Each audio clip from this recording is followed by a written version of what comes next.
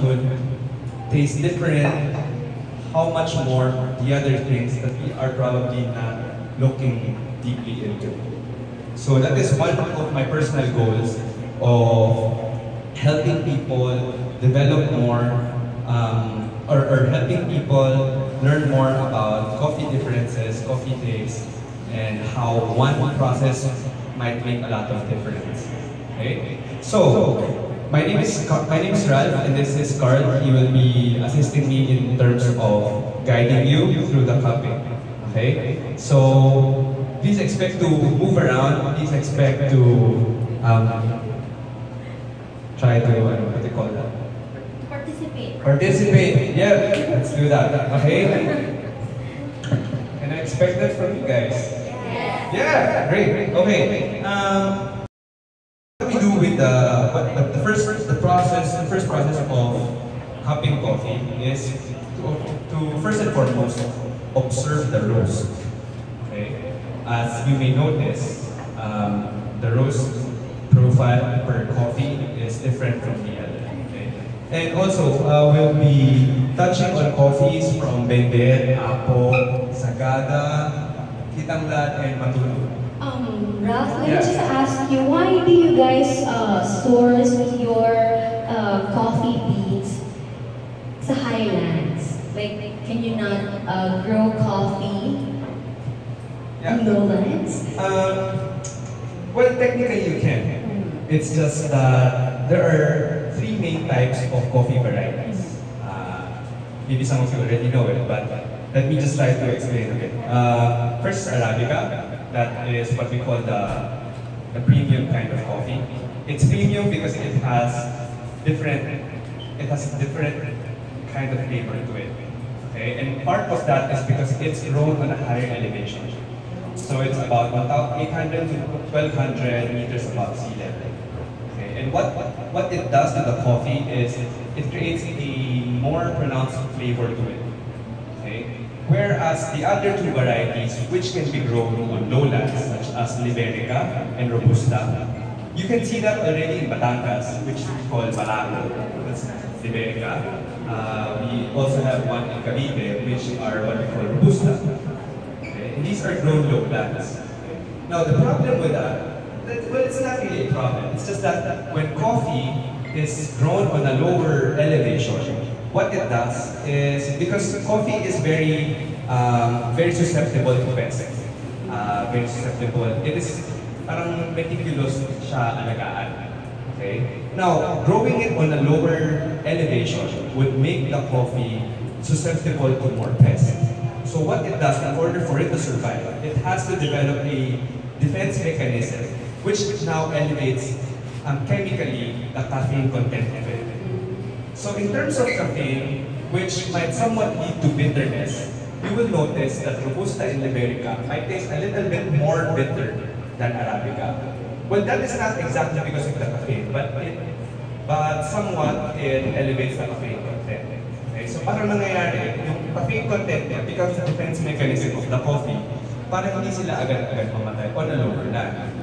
Ngayon, pag mas mataas yung elevation mo, well, it's still susceptible to pests, but it doesn't need require a lot of self self or defense mechanism from them. That's why, as I as I mentioned a while ago, it has a lot more sweetness to it because the caffeine doesn't overpower the sweetness that it's supposed to have.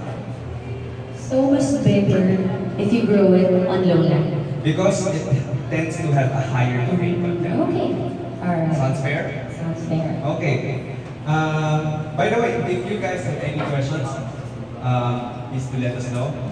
Uh, we also don't want to miscommunicate what we're trying to teach here, especially if it goes out in the, you know, the whole wide world. Okay. Um, so what we do first is we observe the roast. You guys can actually come over and try to observe because later on, um, especially when we get to the part when we smell the beans, uh, taste the roast, we'll now try to equate that to our observations that we have actually made. So, if you guys might notice, the beans from your left would tend to be lighter, going darker. Okay? So just following that thought, later on when you try to taste the beans, you'll try to realize that, oh, the dark roast is this, this, this tastes like this, and the light like this, like that, so on and so forth. Okay? So, okay?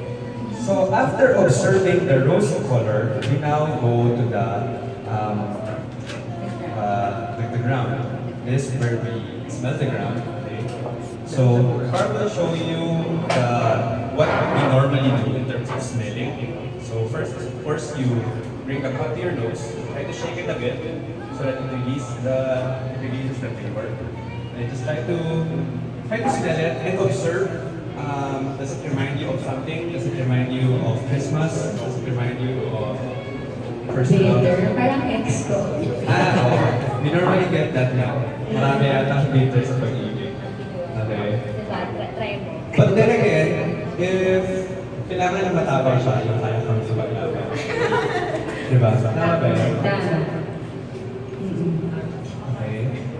So, I hope you don't, you don't, you don't ah, so we can be more objective. But yeah, go ahead, go ahead. Try to, try to observe. Uh, yung smell in my assumption would be different to that. Although I don't want to color your, your judgment. Just go ahead.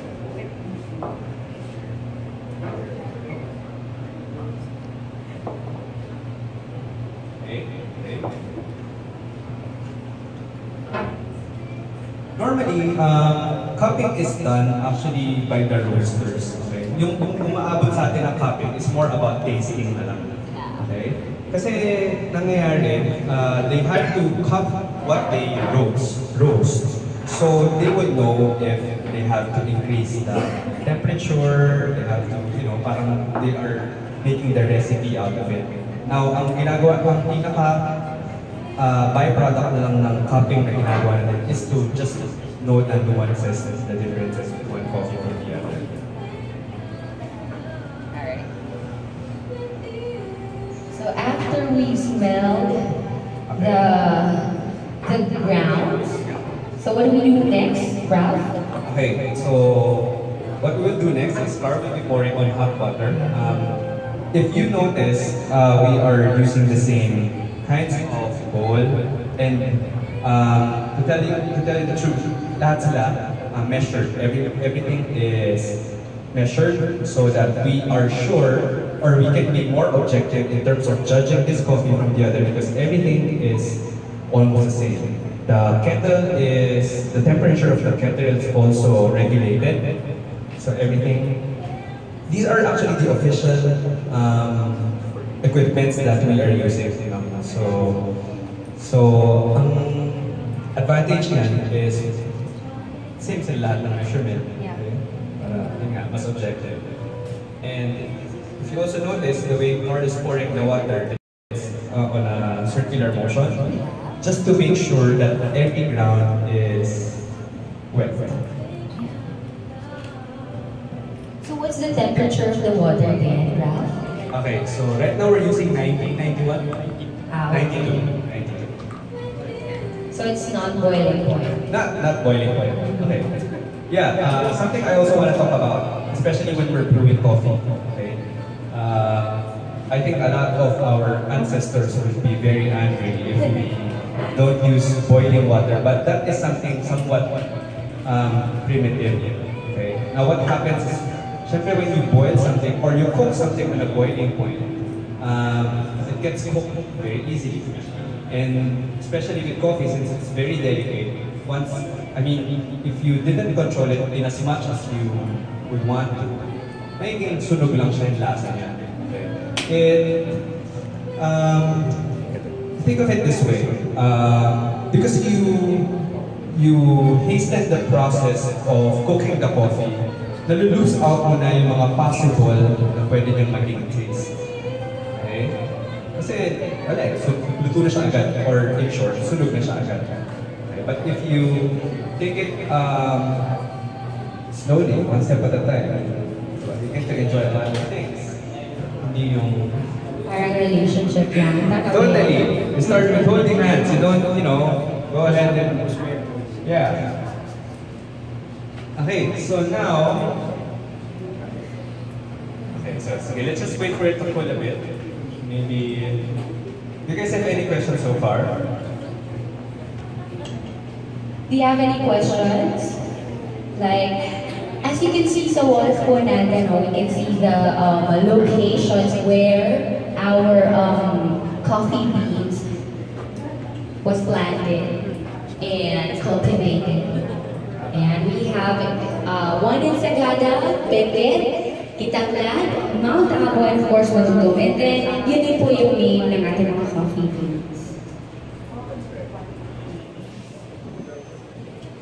So are you guys familiar with all of the locations?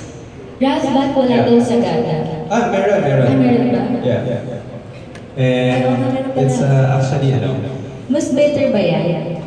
um, sa ngayon, dahil nauso yung palabas na, ano yun? The thing called Patan. Papait ng papait yung mga lumalabas din. Okay? Pero surprisingly, Sir Sagada is actually one of the favorites so far in the store.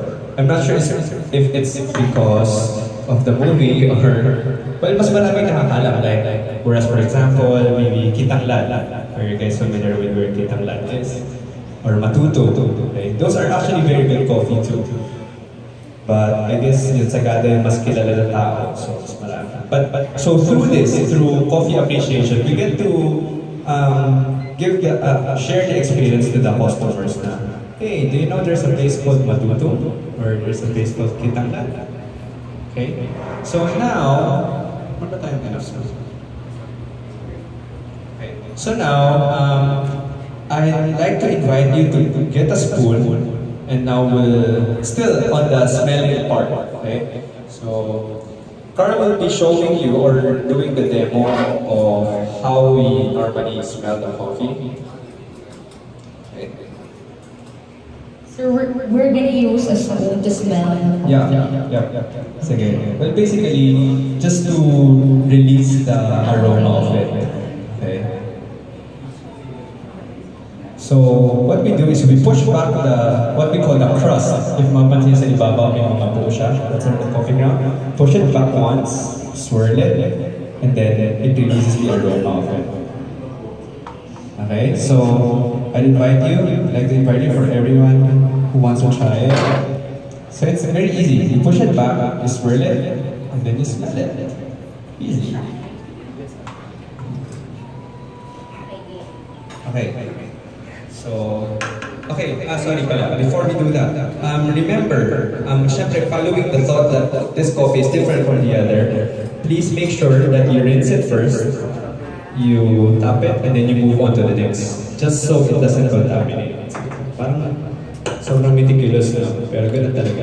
Para tayo nag-experiment dito. Oh yeah, yeah, yeah. It's really Okay. scientific in a sense. Alright. Sige, let us try. Who else wants to try? We have lots of spoons over there. Back.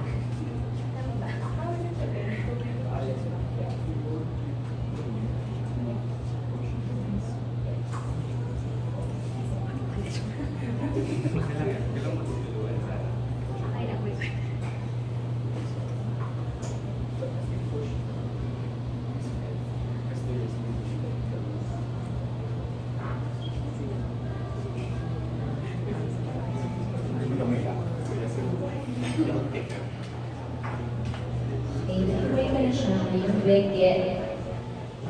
Ay, wait, okay naman. Amoy kami naman siya. Amoy matapa. Hindi ko lang alam kung kaya ko yung paglaban niya. Malaman natin mamaya. So ngayon, uh, we don't have a barako. Okay. Uh, for a lot of reasons. One is there's not much traceability factor in a barako. Kasi nga. So parang you would normally know barako as a mass produced coffee. So ito, highly selected. Like for example, pag sinabing Sagada, lahat of from Sagada lang. And other other coffee uh, traders would even go as far as sino yung producer, saan siya in-harvest, sino yung nag-harvest.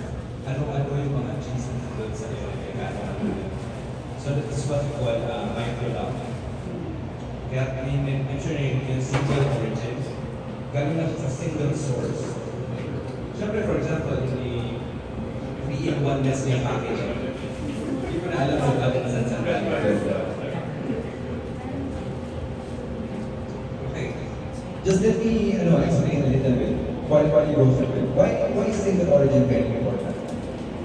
It's very important kasi, like I said, we believe that one coffee is different from the other. Like, normally people would say that, oh, this coffee um, uh, tastes a bit woody or ashy.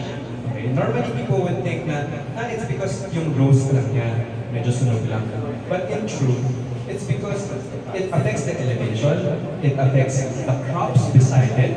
Yung iba, lalo na sa medyo may pagka-smoky taste siya, medyo may pagka-tobacco taste. Kasi ibang ano yung mga nakatanim doon. So, ganun, di ba? Ngayon, sa South naman, it, it has a tendency to taste or smell fruity or medyo may pagka... Yung iba would go as far as parang taste like chocolate.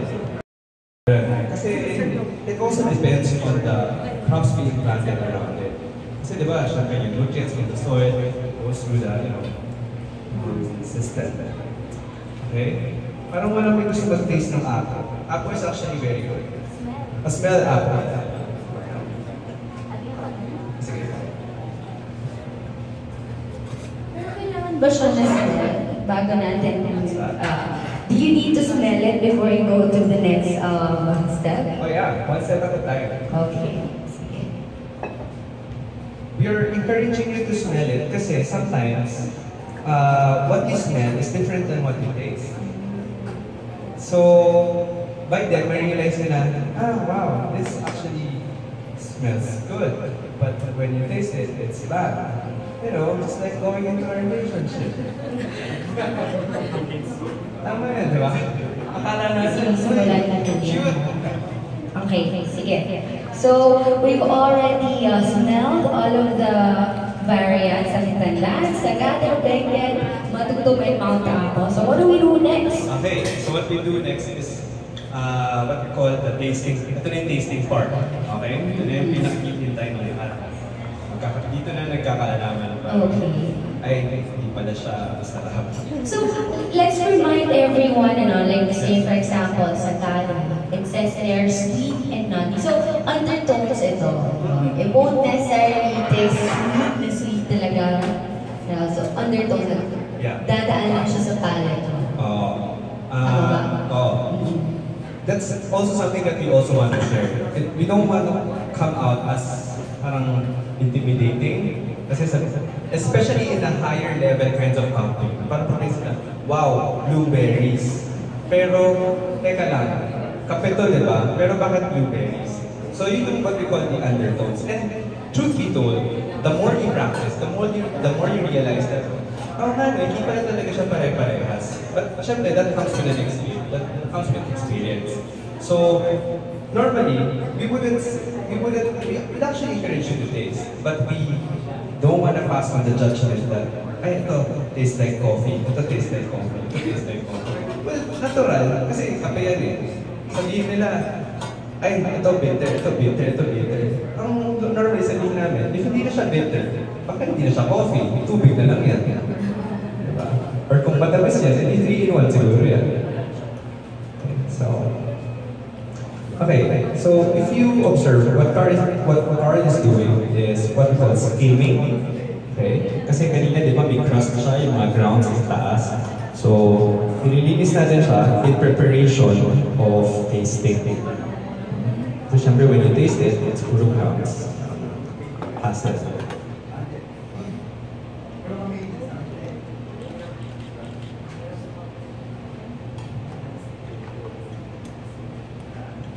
Alright, so skimming, tama ba? Skimming? Skim yun. Skim, ah, skim. Skimming, okay.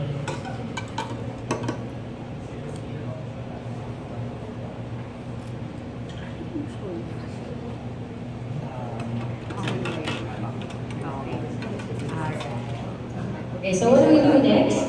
Okay, laway conscious. Kasi, ginagawa natin ngayon Tagay-tagay. is, uh, if you got in your spoon a while ago, you can use it again, but if not, you can just rinse it. Okay? So, what you do, get a sample. Konti lang. And then, you slurp it. Okay? Okay? So, ganun talaga yun. Hindi, lang, hindi naman siya always. Hindi yun always. It's the process. Why is that important? Okay? When you slurp kasi, you incorporate air to the liquid. Now, by that incorporation, it releases the. Okay? So, what are the things that we look for? What what are the things that we are looking for in terms of tasting? We look for, syempre, una-una yung flavor. Okay? So, doon na papasok yung uh, kung pwede yung sweet, gano'n. Okay? Intensity of the flavor. Okay? And then we look for the body. If, ano ba siya? When we talk about the body, we're talking about the mouth-feel. Does it feel light? Does it feel heavy? Parang ano lang eh. Uh, does it feel creamy? Okay? Parang, if isipin niyo siya, pwede siyang cough syrup or water or milk. Okay? So, meron ba siyang characteristics na gano'n? Lastly, is we look for the aftertaste. Okay? Does it leave a good aftertaste or pleasant ba siya? Or talagang, wow, pait lang na nakakainis. Diba? So, yung mga ganung bagay.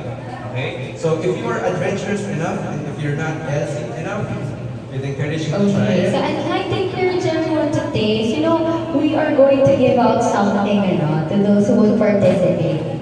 Sige, meron kaming content sheet para sa inyo. So if you would want to participate, sige. Si Miss Pauline yata would like to participate from the Daily Tribune. Okay, hi Miss Pauline. Which one would you like to taste? Yeah, Kosagada yan. Yeah, go ahead. Okay. She's gonna taste the sagada. Alright. Let's also call in, who else? Matt? Videographer. Ma'am Jan, yeah. Ma'am Jan, come here.